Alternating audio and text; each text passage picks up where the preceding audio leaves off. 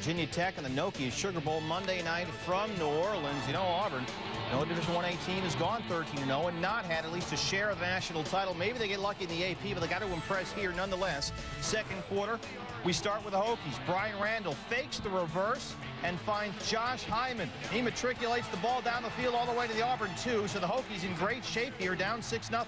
Third and goal from the two, and Randall is stuffed Great defense. They're going to go for it on fourth and goal. And Randall, he's got Jesse Allen wide open.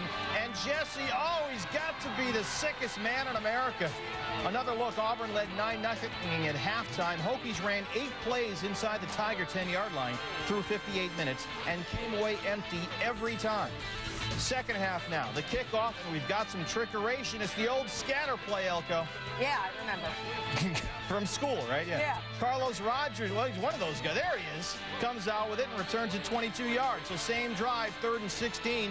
Big conversion chance here for Jason Campbell, and he's got Anthony Mix. Look at Jason Campbell, the escapability and the arm strength. This is why the NFL guys are starting to think about Campbell, who's a senior.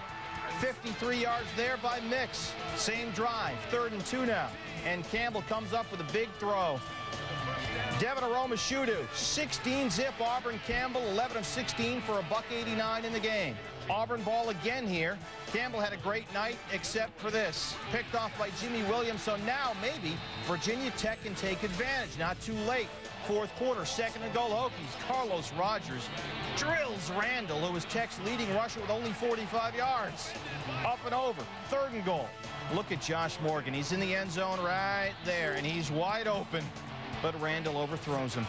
More missed red zone chances for Va Tech. Fourth and goal this time. They will kick the field goal. Here's Brandon Pace, chip shot from 23, and he pushed it. Again, Virginia Tech coming up empty. Later now, third and one. Cadillac Williams trying to get a big first down here, but Cadillac coughs it up, and the Hokies recover. Cadillac ran for just 61 yards. Ronnie Brown held to only 68. So Va Tech doing a good job containing that two-headed Auburn rushing attack. Third and 10. Randall wants Morgan, and suddenly this thing ain't over. Touchdown Hokies with 6.58 to go. It's 16-6, and Tech will go for two. Here's the conversion try. Randall wants Richard Johnson. And it's not there. It stays 16-6. And time's starting to run out for Frank Beamer. He needs a miracle. You know what? He just might get it under three minutes to go. Randall. Morgan sneaks behind everybody. He's wide open, 80 yards. It's a three-point game. Randall, 21 of 28, 299 yards and two scores, but they're going to need one more miracle. They're down three. Got to have the onside kick. Here we go.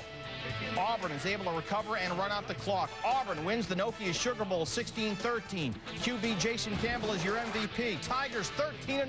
A perfect season, but no BCS title shot. Rece Davis was on the sideline.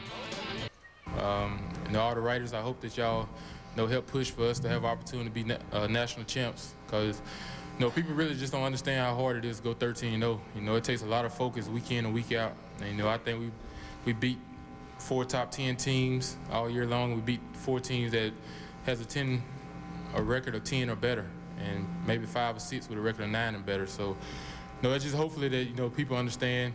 You know, I just hope that y'all uh, can help push the situation. We are one of the best teams in the country. Somebody's going to pick us national champions. That's all we want. We want to be recognized as a good football team. Uh, they're playing a game tomorrow night uh, that's uh, probably going to be a good game. They're not either. Neither team is better than us. Uh, we'll play them anytime, anywhere. Hey, we beat more teams. We won nine games than anybody else in the country. Now they got two more that say we're the national champion. Hey, we 13 on. In my mind, as far as I'm concerned, that's just how it is. We take it as we champions. You know, going 13 0, you can't have no better season than that. So with the season going out like this, and we set a stepping stone for the guys coming back next year. 13 0, SEC champ undefeated in SEC.